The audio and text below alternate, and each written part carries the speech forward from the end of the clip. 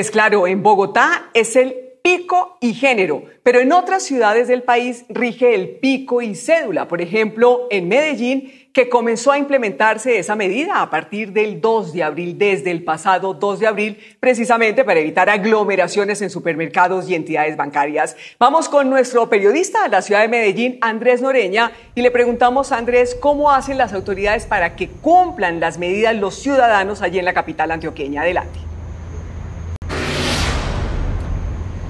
Se, han instalado 22 puestos fijos, esto por parte de la policía, el ejército, espacio público y tránsito. Y además, la Secretaría de Gobierno ha realizado cerca de 260 visitas a establecimientos comerciales, establecimientos comerciales que justamente hoy estuvimos recorriendo para medir el comportamiento de las personas. Esto nos encontramos.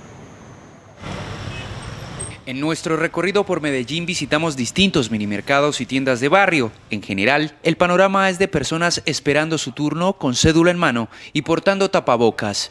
La medida se implementó hace siete días.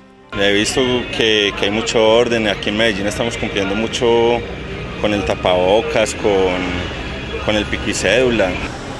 Y es que pese al buen comportamiento, no faltan los desobedientes. Aunque no todas las sanciones fueron por pico y cédula, en promedio desde su aplicación se impusieron cerca de 5.000 comparendos. Para aislar a las personas y para regular el tránsito de las mismas. Para ello, hemos tomado la decisión de tener 22 puestos en diferentes lugares de la ciudad donde está la policía, el ejército, agentes de tránsito y agentes de espacio público.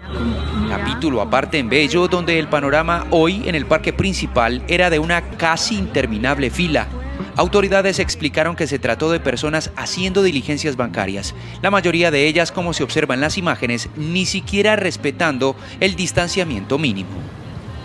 Allí en Bello hubo mal comportamiento ayer y también hubo mal comportamiento hoy. La policía aseguró que cerca de 577 comparendos se han impuesto en este municipio, cifra menor y muy distinta a la de Medellín, donde se han impuesto 12.350. Información desde la capital de Antioquia, Andrés Noreña, Noticias Caracol.